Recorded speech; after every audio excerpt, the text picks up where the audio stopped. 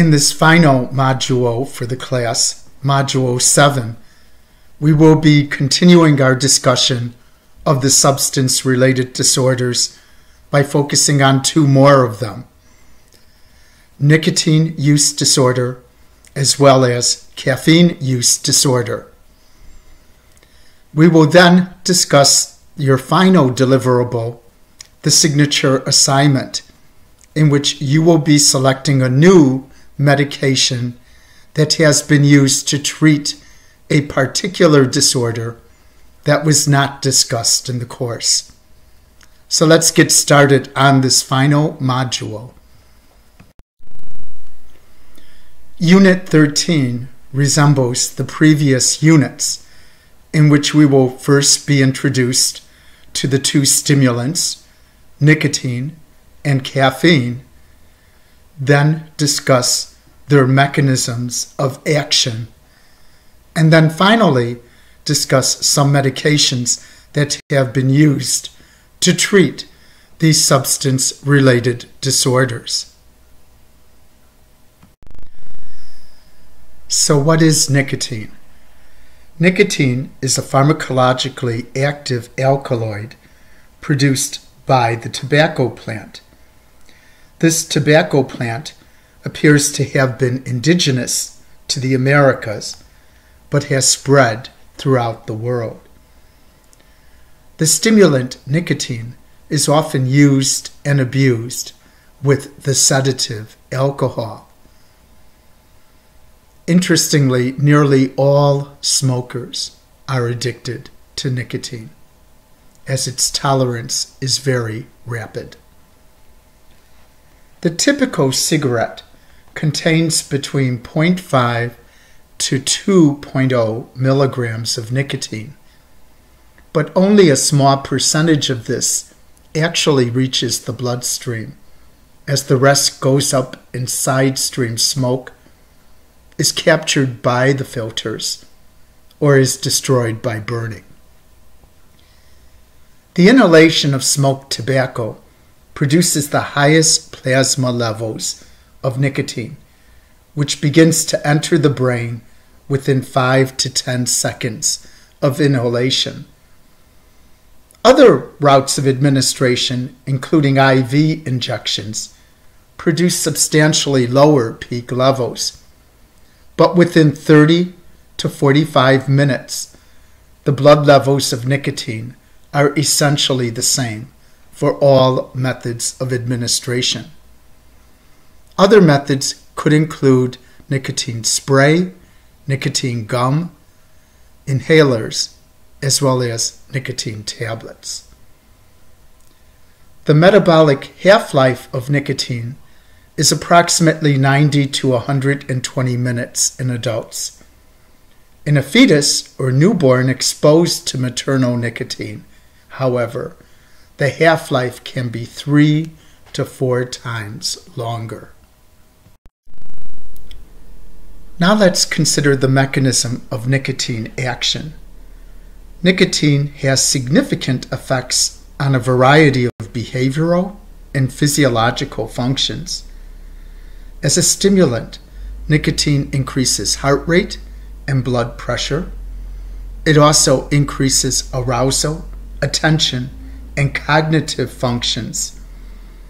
It has an effect on decreasing motor reaction time as well as improving recall memory. Nicotine and other cholinergic drugs have been used to treat the cognitive deficits associated with Alzheimer's disease and other forms of dementia. Nicotine may also be used to improve symptoms in individuals with ADHD. Nicotine has a high binding affinity for a subtype of a special acetylcholine receptor. This receptor subtype was in fact named the nicotinic acetylcholine receptor because of nicotine's binding affinity to it. Like acetylcholine, nicotine has an agonistic effect on the NACH receptors. And the sodium channels quickly open when nicotine binds to these receptors. Postsynaptic neurons depolarize as a result. The sodium channel returns to its closed configuration after nicotine diffuses away from it. Typically, nicotine remains bound to these receptors for only 1 to 2 milliseconds. High doses of nicotine, however, can have prolonged receptor activating effects, as high levels of the drug remain in close proximity to the receptor. Tolerance to several of nicotine's physiological and behavioral effects is observed following repeated nicotine administration. In fact, tolerance may need to occur to its aversive effects before nicotine's reinforcing effects may be experienced.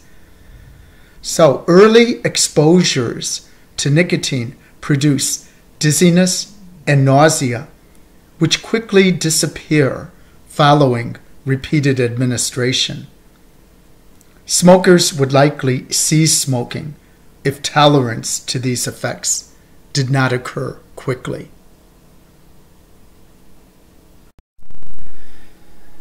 This diagram illustrates what takes place at the nicotinic acetylcholine receptor.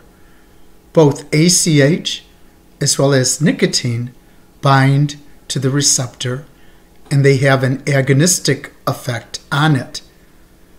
Once they bind, the sodium channels open and sodium enters the neuron. After this action is performed, nicotine quickly diffuses from these receptors.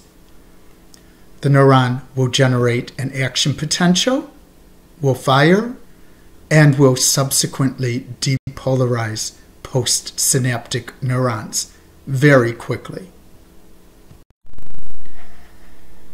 The health consequences of using tobacco products are both well known and numerous. They include lung, esophageal, pancreatic, kidney, and oral cancer, pulmonary disease, and heart disease, increased risk of stroke, and numerous complications to pregnancies, just to name the most common ones.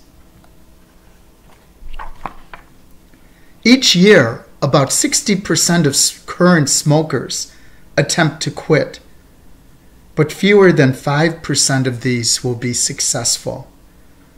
On the bright side, nearly half of all American smokers will eventually quit and the prevalence of smoking in the United States continues to decline from its all time high of just over 50% of adults 45 years ago to fewer than 21% today. There are several pharmacological agents that are able to assist those suffering from nicotine use disorder. These treatments include nicotine replacement therapies or NRTs, bupropion, trade name Zyban, and varenicline, trade name Chantix. We will now look at these in depth. First, let's consider the nicotine replacement therapies or NRTs.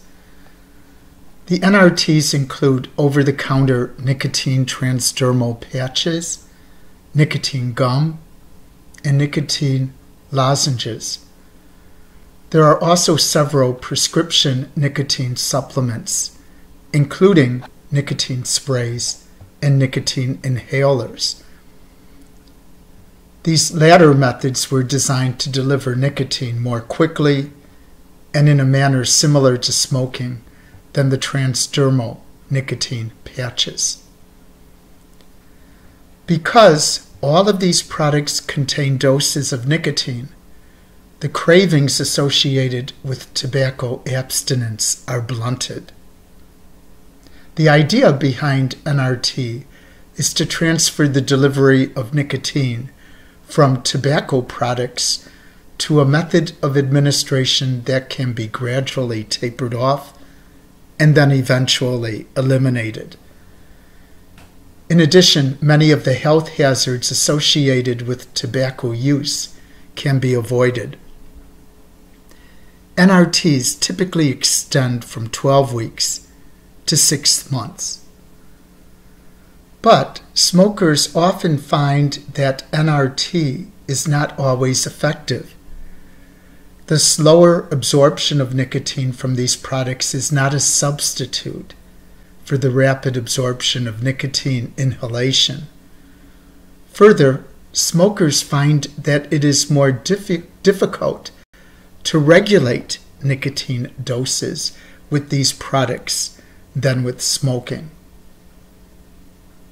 NRTs are all more effective than placebos when compared in randomized clinical trials. In some studies, NRTs nearly doubled the success rate of quitting. The atypical antidepressant bupropion, trade name Zyban, has been used to treat nicotine dependence as well.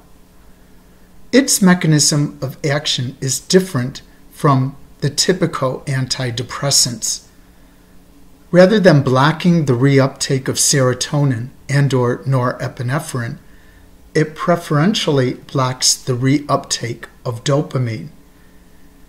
Increasing DA activity by reuptake blockade appears to decrease the severity of cravings associated with nicotine abstinence. It also antagonizes nicotinic acetylcholine receptors, unlike other medications. Bupropion has been shown to be as effective as some of the other NRTs, like gums and patches. The typical dose starts out at 150 milligrams per day, but after three days it is increased to 150 milligrams twice a day for 7 to 12 weeks. Depending on the severity of the addiction, the treatment can continue for up to six months. Varenicline, trade name Chantix, is the newest drug approved for smoking cessation. Its typical dose starts out at 0.5 milligrams a day, then 0.5 milligrams twice a day during the first week of treatment, to eventually 1 milligram two times a day for approximately 7 to 12 weeks.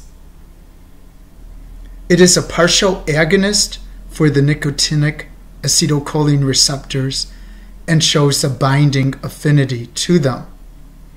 However, it does block nicotine from activating these receptors. Varenicline is as effective as the NRTs and bupropion in reducing nicotinic cravings and maintaining abstinence from smoking. The FDA recently issued an alert suggesting that varenicline may be associated with an increased risk of psychiatric symptoms.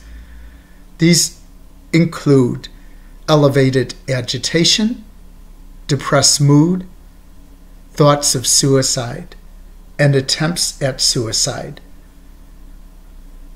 The Federal Aviation Administration also announced that varenicline was not approved for pilots and air traffic controllers for these same reasons.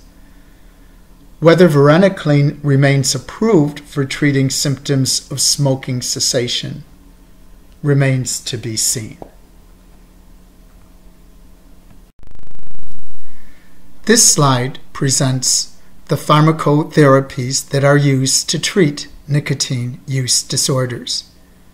We see them ranging from bupropion to the NRTs, such as gums, lozenges, inhalers, sprays, and patches, and then varenicline. Some side effects are noted with each of these drugs, as well as the dosage and duration are presented as well. And even though 7 to 12 weeks is the norm for many of these medications, they may persist longer, up to six months, and maybe even longer than that, depending on the severity of the addiction. You will find this information helpful in answering this unit's discussion questions. Now let's talk about the stimulant caffeine. Caffeine is an alkaloid found in a variety of plants, including coffee shrubs, tea plants, and cocoa plants. It is the most widely used psychoactive drug in the world. While caffeine is primarily consumed in naturally caffeinated beverages such as coffee and tea, it is added to a number of other beverages, as well as over the counter analgesics, including Excedrin and Anacin, and alertness promoting drugs like NoDoz and Vivarin. A small amount of caffeine is also available in products containing chocolate. Caffeine is readily absorbed by the stomach and small intestine within 30 to 60 minutes following ingestion. After absorption, it is distributed to all bodily tissues, including the brain. Peak plasma concentrations are reached within two hours, and the half life of caffeine is approximately three to four hours. In newborns and infants, the half life of caffeine can be extended to about 80 hours this can lead to significant blood levels in infants of mothers who drink caffeinated beverages while breastfeeding. This slide shows the amount of caffeine per cup in familiar beverages. The least amount of caffeine is in a cup of decaffeinated coffee, hot chocolate, and green tea Black tea has more than twice the amount of caffeine than green tea, and brewed coffee has over twice the amount of caffeine in it than black tea or Coca Cola. Caffeine users are very familiar with many of the drug's physiological effects these include central nervous stimulation, such as increased alertness and insomnia, increases in heart and respiratory rates, as well as its diuretic effects. Caffeine is also a powerful constrictor of cerebral blood vessels, making it a useful remedy for the treatment of some types of headaches, including migraines. For this reason, it is added to several over the counter analgesics.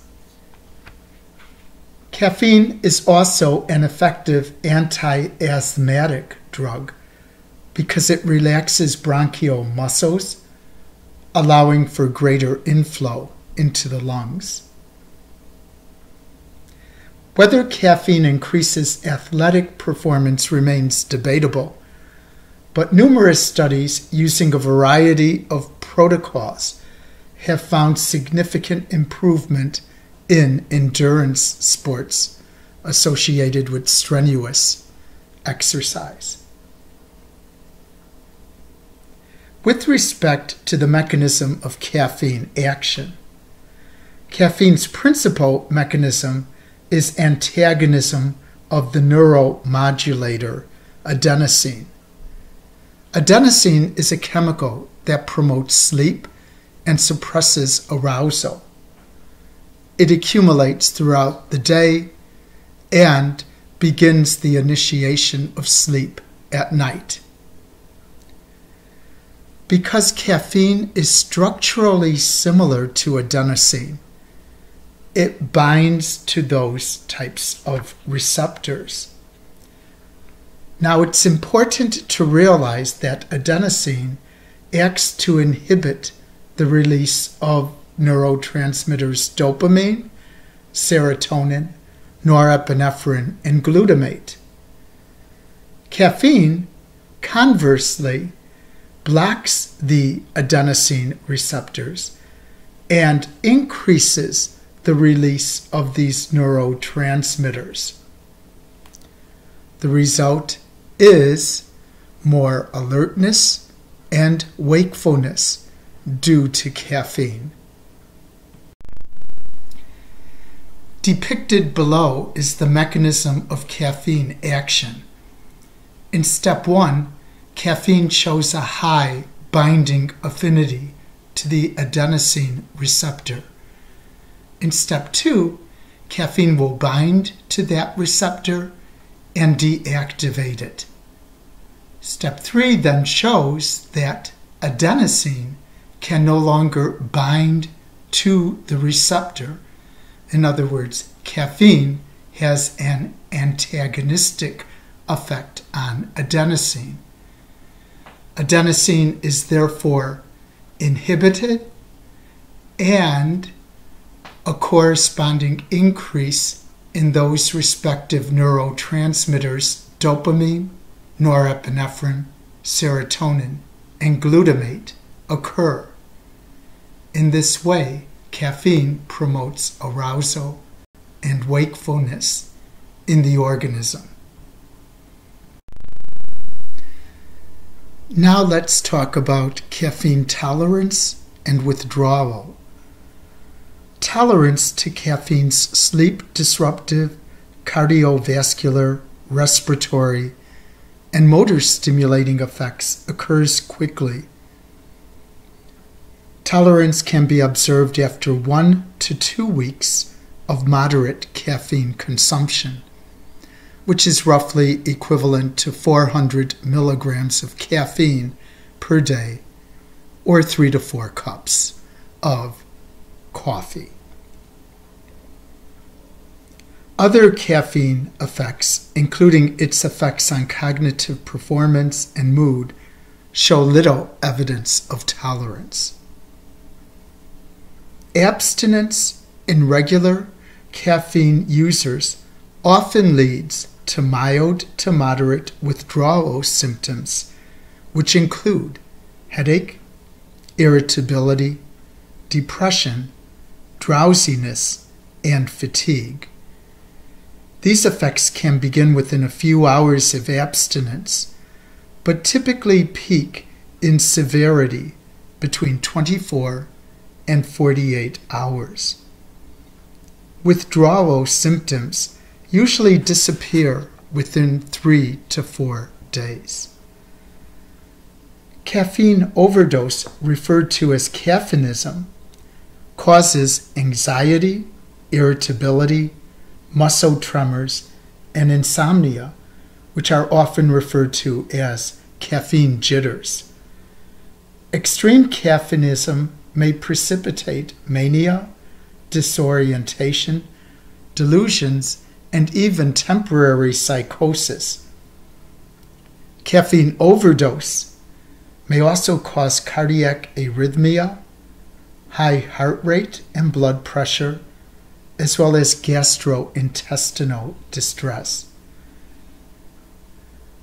The lethal dose of caffeine is considered to be approximately 100 cups of coffee.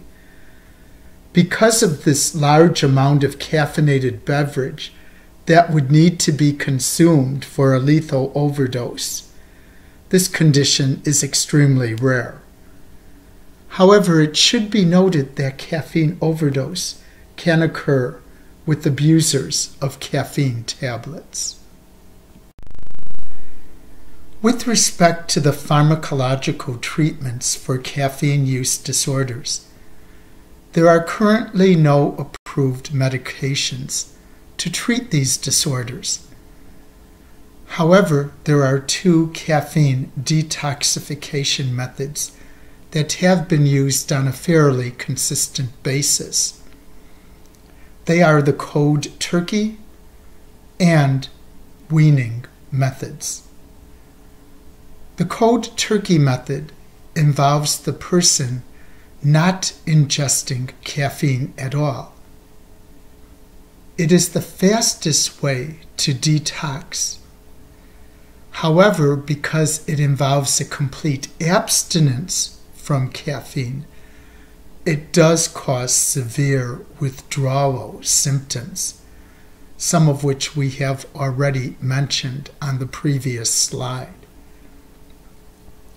The weaning method involves the person gradually decreasing the amount of caffeine that is consumed. It is therefore much safer, and the reductions occur either on a daily basis or every three to four days. The end result is that in a few weeks to a few months, the person will have withdrawn or abstained from caffeine completely.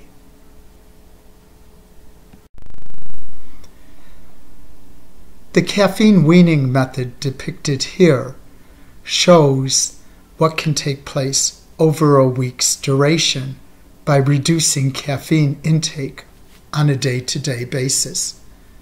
On Monday, they are ingesting two cups of coffee and a caffeinated beverage. On Tuesday, they've reduced their caffeine intake by one cup.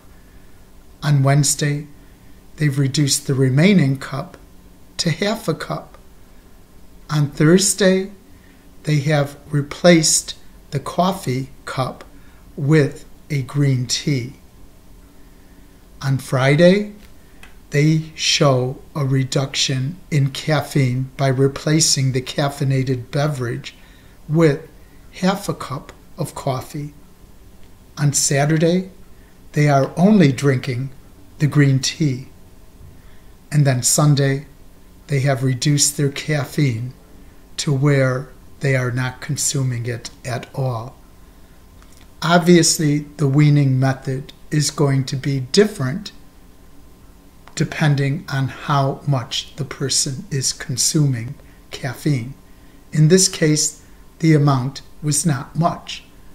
For a regular drinker of caffeine, four to six cups a day, it might take several weeks of weaning. For those that ingest more than 10 cups of coffee, it may take a few months.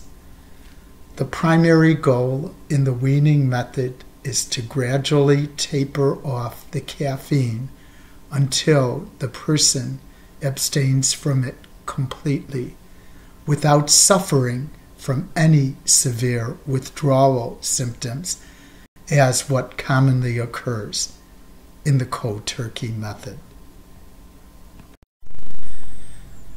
Now we have arrived at the Unit 13 discussion. Please review all the resources, video, as well as articles on the respective drugs used to treat nicotine use disorders. Then read the following case vignette on Melissa, who has been diagnosed with nicotine addiction. After you have read that case vignette, please answer the following inquiries. First, why do you think the nicotine replacement therapies, or NRTs, were not very effective in treating Melissa's nicotine addiction? 2.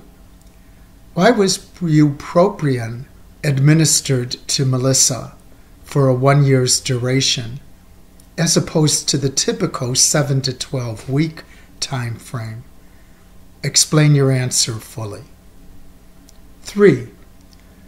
Should Melissa be treated for caffeine addiction now that she is smoke free?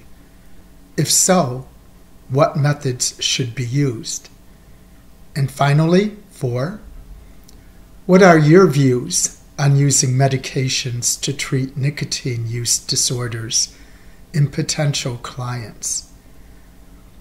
This discussion exercise will allow you to integrate the knowledge you acquired in this unit on the various medications used to treat nicotine use disorders, as well as apply that knowledge to your future counseling work with clients who present these types of addictions. Good luck in your postings. The final units for this course, Units 14 and 15, will deal with your signature assignment. You will engage in your preparatory work on your signature assignment in Unit 14. This assignment will deal with the application of a therapeutic medication to a particular disorder. You will then submit your signature assignment document in the Module 8 Assignment tab for Unit 15. The details of your signature assignment now follow on the next several slides. In order to demonstrate your integration and application of all of the psychopharmacological material presented in this course, you will compose a research based document on a selected drug's therapeutic effectiveness with a specific disorder. The document needs to be six to seven pages in length, excluding the title and reference pages. It should also be in the appropriate proper APA format. Your paper should have the following five sections to it. Each section is worth 20 points. The sections are as follows a description of the drug and the disorder that you have selected, the explanation of the drug's mechanism of action, research support for the drug's effectiveness via four articles that you have acquired, the development of an original case vignette with the drug. And then finally, recommendation of the next steps that can be used with the drug. We will now look at each of these sections in detail. So, for this section, description of the drug and disorder, you will be providing information on the pharmacological intervention that has been used to treat a particular disorder. The pharmacological intervention should be a new medication as opposed to an old one. And the disorder should be one that has not been discussed in the course. You should have already gotten approval on your drug and disorder through the instructor. Now, with respect to the description, your description should include whether the drug falls into a general categorization or not, such as an antidepressant, an anticonvulsant, an antineuroleptic, an anxiolytic drug, and so on. How long the drug has been utilized to treat the disorder should be mentioned. The complete DSM 5 criteria for that disorder should be given if at all possible? And then, what particular symptoms of the disorder are specifically being targeted by the drug?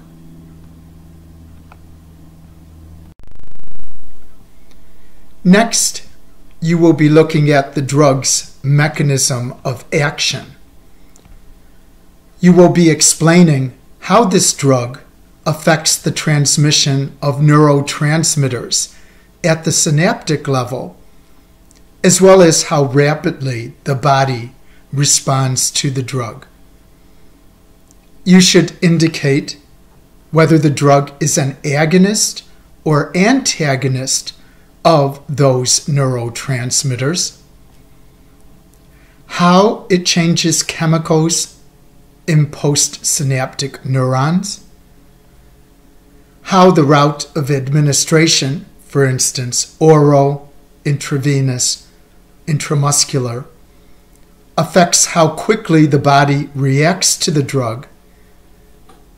And finally, what physiological effects both positive and negative, are produced by the drug's usage.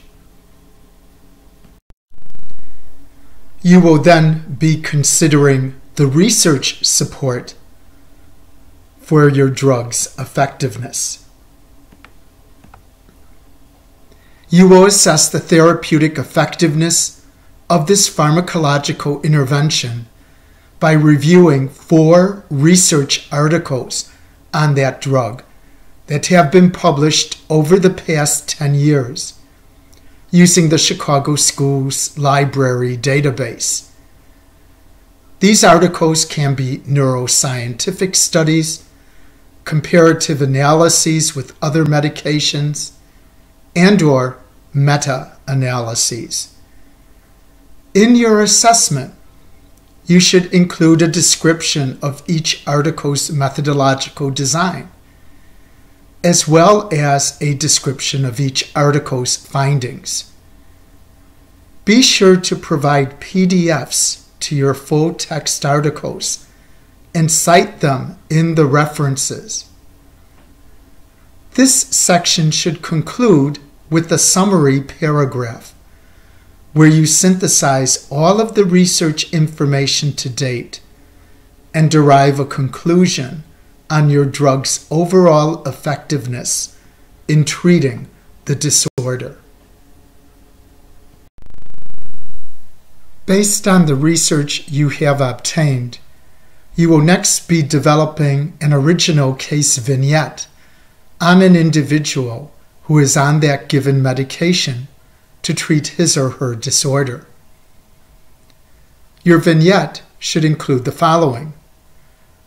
The relevant demographic information and life history of the client, what dosage of the drug they were initially receiving to relieve their symptoms, if that dosage needed to be changed over time or tapered off, and finally, how the client has benefited or not by being on that particular medication. Please review past modules vignettes when developing yours to make sure it is descriptive and thorough enough in presenting all of the information. In the final section of your signature assignment, you will be arriving at recommendations involving this drug's usage to treat the disorder.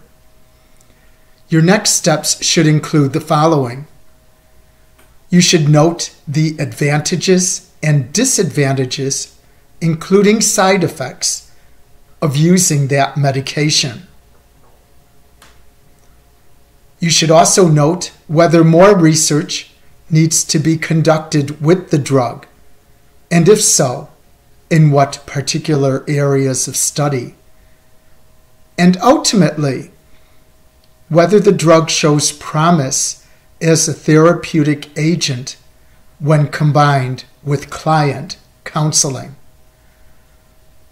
All five of these sections of your signature assignment are equally weighted at 20 points each, with a total of 100 points.